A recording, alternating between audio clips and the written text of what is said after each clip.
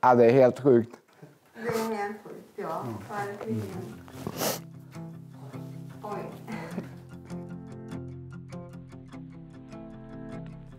Han var inte riktigt som alla som andra barn, inte som Emil när han, för han följde ju alla kurvor och allting som man ska. Och redan på BB så var det ju, ja, började de ju undersöka han. Men de visste ju inte vad det var. Hej. Ja, alltså det är ju det är så otroligt. Ja, hur, vad, vad är det som händer? Ja, men han av 10 miljoner människor i Sverige, hur kan han bli utvald till allting? Det är ju helt otroligt.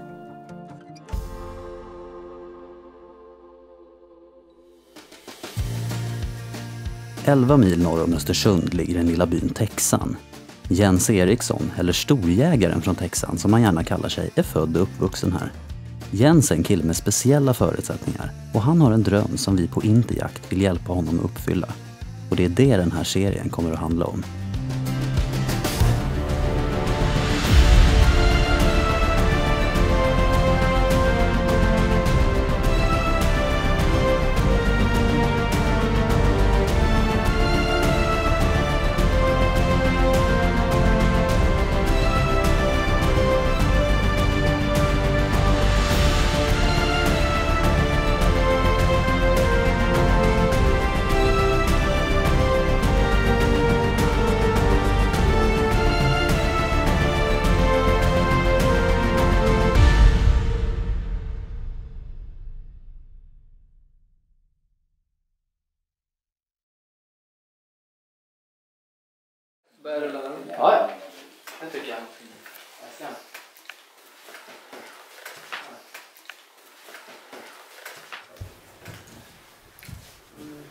Känns det bra? Ja, nu kör vi. Ska vi köra?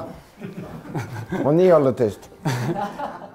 Ja, hade problem att äta och det började väl med att vi inte, liksom, man fick inte, jo man fick kontakt men han, han bara tittade på en, han log inte. Han bara Först- han- iakttog han- en. Han bara iakttog, ja. Ja, tills han var en tre, fyra veckor. Det var först då han, första leendet. Ska vi ta och berätta för dagbokskameran lite vad, vad egentligen du jagar mycket? Ja. Vad är din största dröm? Det är väl att kanske skjuta en björn för hundarna då. Skjuta björn för hundarna. Ja. Och du har egna hundar? Ja, det är brorsan som har dem. Brorsan har hundar ja. Ja. Vad heter hundarna som jagar björn? Det är Bose och Troja. Bosse Troja. Ja. Bosse Troja. Men, men du Jens, eh, vi skulle vilja göra så här att vi skulle vilja ge dig möjligheten att få uppleva din dröm. Så vi kommer göra så att vi har bokat en resa till Kanada. Vi eh, kommer ta med storebror. Vi kommer ta med Troja Ja. och tänkte ge dig möjligheten att prova skjuta en björn. Så vi skulle undra om du vill följa med. Ja. Vill du det? Ja, det är helt sjukt.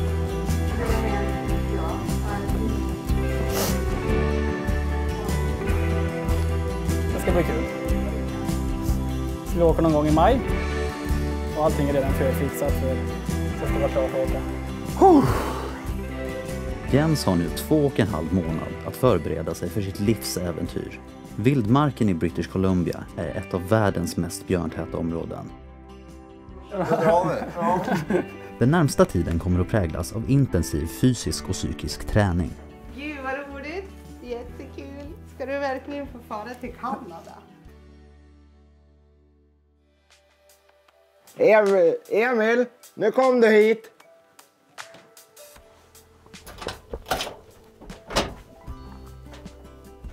Här är ju älgdräparen då. Kan man brukar säga. Hur många älgar har du skjutit med den? Tre. Tre älgar. Ja. Vill ha för du är inte så gammal. Nej, jag är 19. Alla tre som jag sköt nu så var det för hund. Här är min 22 då. Den är ganska lättryckt faktiskt. Det är bara, det är bara att röra så. Pang. Och du skjuter ju bra med han. Ja, Du sköt ju från mig till och med. ja. Spelade ju brorsan ett tag. Det känns tungt. Det var här Jens växte upp med sin familj och deras fyra hundar. Han föddes med någonting som kallas Williams syndrom. Och Williams syndrom det är ett tillstånd som har varit beskrivet eh, länge och känt ganska länge, sedan 50-talet tror jag. Eh, som kännetecknas, eh, det beror på att det fattas en liten bit på kromosom 7.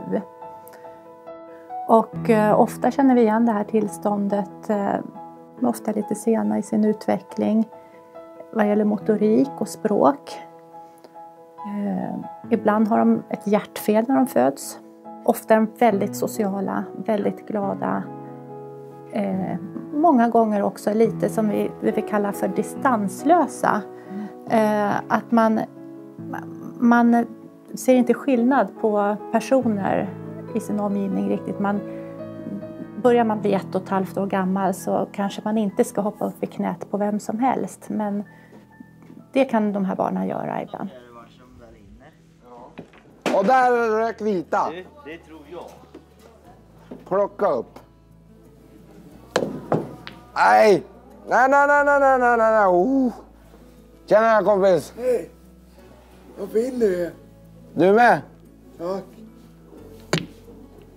Och den går i. Jag tänker att han har en stor öppenhet. Eh, Jens har också fått stöd i han går inte så där nära andra människor idag och det tror jag också gör att han blir den här sociala personen som man gillar att umgås med.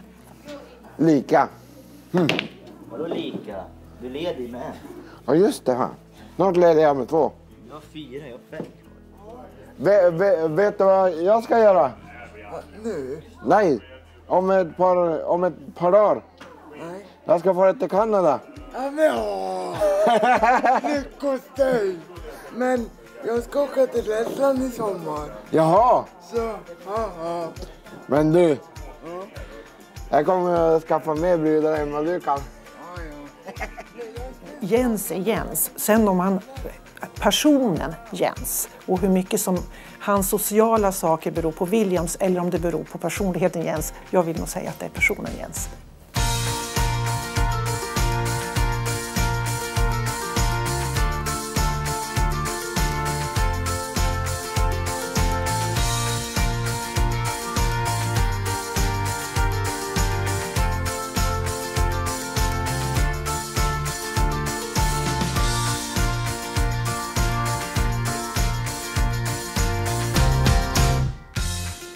Jag vet vem Jens är, Eriksson. Ja, ah, cool-Jens! Ja, det är min lillebror. det har alltid varit så. Och så när jag var liten när vi var på hockey då fick jag göra brudarna till er. Ja. Ja. Ja. Ja, det är, så, det är sant. Det är sant.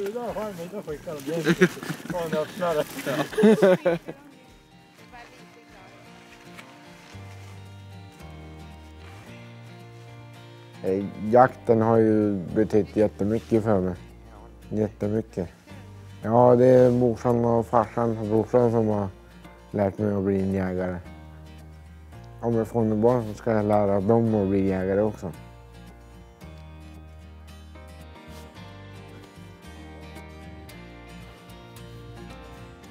Jag måste värma mig lite grann. Jag måste byta, jag måste ha träkrok. Känner jag på mig. Jag kan ta den här ja. Ja.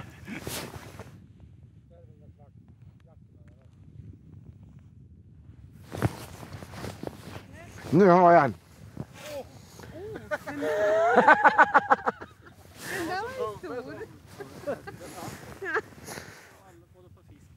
Äh, vad fan, jag skiter i det här.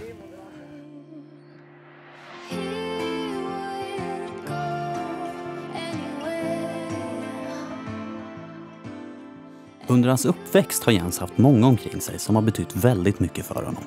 Vem är det du har på bilden Jens? Det är morfar. Han heter Stig. Han är just nu i himlen. Dog för några månader sedan. Då var jag på, när jag skulle klippa håret. Så på vägen hem så fick jag ju veta att han dog då.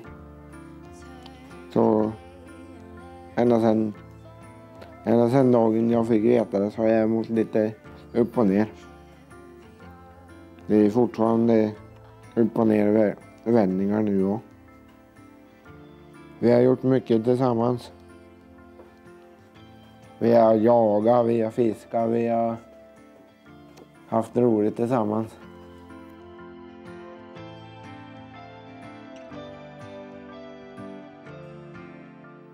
Vad hade morfar sagt tror du om han hade visst att du skulle åka till Kanada? Han skulle nog bli jätteglad.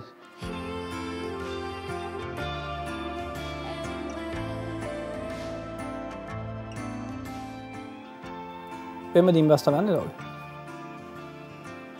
Brorsan. Brorsan ja. Han har alltid funnits där för mig. Betyder mycket för dig? Mm.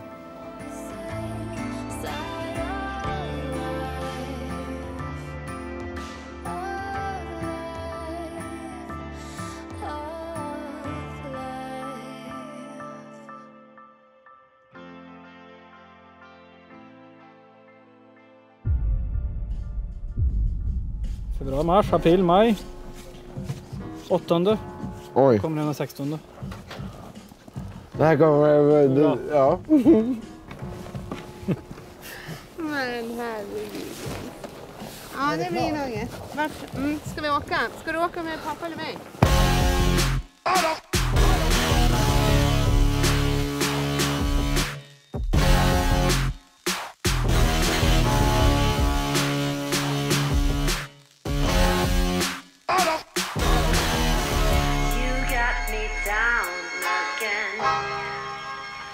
I nästa avsnitt besöker Jens en av Interjakts skjutbiografer där han ska träna skytte och träffa Johan från Saco.